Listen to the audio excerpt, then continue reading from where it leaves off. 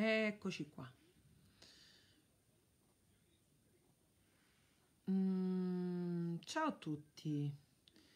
Eh, non sapevo se ero online oppure no. Perché io non è che ci prendo molto con questo agire. Allora, ciao ragazzi. Vi connetto perché innanzitutto voglio augurarvi una splendida domenica. La mia è sempre la stessa, chiusa in questa stanza con la mia positività, che è la positività al Covid, come sapete, non caratteriale, che pure mi appartiene, ma questa volta voglio essere una negativa e quindi anche a te, caro Giovanni, buona festa di ogni santo, che ci sostenga e aiuti visto il periodo che stiamo vivendo e viste anche i dati di oggi e l'inquietante percentuale fra tamponi e malati di Covid. Cara Maria Grazia, come sto? Sto bene finalmente, nel senso che oggi finalmente non ho il mal di testa, cosa che mi ha accompagnato per tutti i 15 giorni di Covid, insieme ad altri sintomi. Lentamente torna olfatto e gusto, quindi inizio a sentire almeno gli odori forti e i gusti forti e spero che finalmente io possa essere negativa, ma devo ancora attendere e questa cosa chiaramente mi preoccupa tanto perché mi preoccupa la mia bimba che non ce la fa più a stare senza di me, a non potermi abbracciare e quindi non vedo l'ora di scoprire di essere negativa. Speriamo, speriamo, speriamo. Ci vuole veramente tanta fortuna perché ci sono persone che si sono negativizzate subito, vedi mia madre e mia sorella, più o meno dopo 10, 12, 13 giorni e altri che purtroppo sono stati positivi per tanto tempo. Io aspetto con ansia di sapere se finalmente posso uscire da questo incubo e riabbracciare la mia bimba. Eh, sì, tu pure Ivan, sei eh, bene, non mi dai belle notizie, pure io sono da 15, vabbè, speriamo bene. Sto seguendo un po' tutto, oh, come sapete anche lui al Covid ma è asintomatico, è sempre riunito, per cui non ho idea di che provvedimenti vengono assunti, però insomma ho letto sui siti, soprattutto sul Corriere, che eh, si va verso una chiusura delle regioni e verso una chiusura di mm, coprifuoco, così, verso le ore 18. E quindi volevo sapere da voi cosa ne pensavate. Grazie Walter, sono una roccia, sì, effettivamente diciamo che ho un carattere forte, ultimamente me ne sono capitate di tutti i colori, la cosa più brutta è sicuramente stata la vicenda del mio papà che sta meglio, in molti me lo chiedete, sta molto meglio. E, e purtroppo, ah Antonio tu stai da un mese così e questo non è una grande notizia per me, non ce la potrei proprio fare, vi dico la verità, e, um, a resistere un mese, ma soprattutto tanto per me.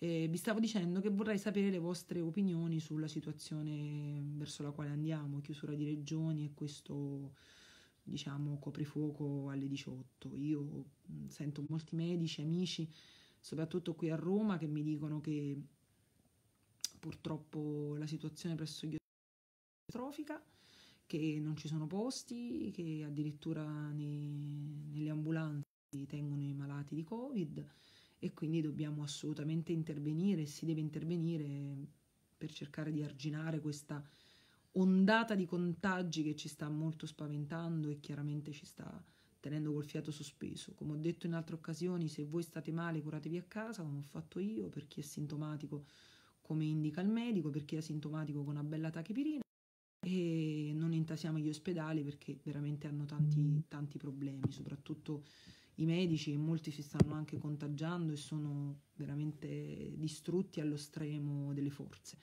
Eh, grazie Patrizio nel dirmi che sono un esempio di forza. Eh, diciamo che in questi giorni mi sono dovuta dare molta forza, non è stato facile. Mm, vi assicuro che ho avuto momenti molto molto duri, soprattutto quando il mio papà è stato ricoverato e non si capiva cosa avesse, mi sono sentita tanto smarrita, proprio persa, cioè veramente disperata, lo posso dire adesso lo posso dire. Eh, tu che hai Ivana ancora tosse, vabbè questo è normale, purtroppo fa parte di questa brutta, di questo brutto virus. E, mm, e quindi vi dicevo, ci vuole tanta forza, per cui state sempre molto attenti perché io sento continuamente persone che anche avendo un comportamento giusto lo beccano e insomma eh, poi hanno tante difficoltà a gestirlo e a gestire la famiglia. E grazie per tutti i complimenti che mi fate e grazie anche per uh, tutti i messaggi che mi state inviando. Eh, qualcuno mi dice che non si sente, non so perché. Eh, mi scrivo dalle marche che bisogna fare la chemio e se può andare assolutamente. Io ho letto che per i malati oncologici, così come per quelli di Covid, tutto prosegue. Sono molto preoccupata per tutte le altre patologie perché mi hanno detto che eh, in molte realtà purtroppo non si riesce a fare la prevenzione e questo eh, è veramente un guaio, nel senso che la prevenzione è fondamentale e che si rischia eh, che onestamente molte persone muoiano di altro. Questo è il dramma vero. Mm, sento molte persone che, che, mm, soprattutto in alcune realtà in crisi come la campagna, non riescono nemmeno a chiamare il 118, che non si può andare in ospedale per niente. E chiaramente questo mi, mi preoccupa moltissimo perché chi poi ha da fare cure per altre malattie, soprattutto oncologiche, deve poterle continuare a fare perché altrimenti veramente si rischia che poi se non si muore di Covid si muore di altro e non ce lo possiamo permettere. Quindi credo sinceramente che tu che mi scrivi alle marche tu possa andare e assolutamente anche se ci sarà questo DPCM come dice il Corriere per ragioni di lavoro e per ragioni sanitarie ci si può muovere fra le regioni per cui stai tranquillo questo lo potrai fare e lo devi fare, ovviamente. Mm, chiaramente per tutto il resto non ci potremo muovere, ma penso io personalmente che sia giusto in questa fase per un po' perché dobbiamo contenere il tutto. Grazie per tutta la forza che mi inviate, grazie Medina per tutti questi messaggi assolutamente di sostegno che ricevo quotidianamente e vedo che alcuni di voi non sentono, altri sì, non so per quale ragione, però forse è un problema vostro perché Gabriele che è sempre attento mi dice che si sente bene.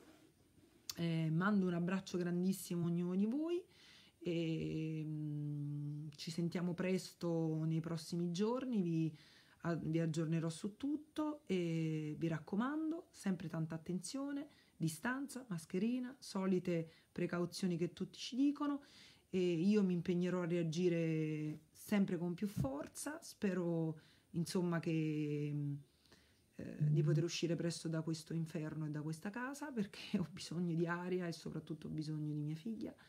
E, ehm, e chiaramente, ragazzi, è un momento difficile anche economicamente, lo sarà sempre di più e dobbiamo stare veramente molto molto uniti in questa fase, evitare follie con la testa perché ci aspettano momenti durissimi. Io certe volte dico che sfiga essere nati in questa stagione e aver messo i nostri figli nel mondo in questo momento così complicato, però vabbè, non ci dobbiamo abbattere, finirà, prima o poi sconfiggeremo a livello mondiale questo maledetto virus. Oggi è difficile vedere positivo, ma non ci possiamo arrendere. Ecco, tutto qui. E va bene.